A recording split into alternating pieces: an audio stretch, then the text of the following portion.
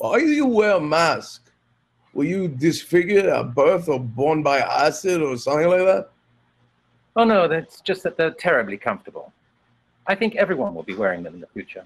Mm.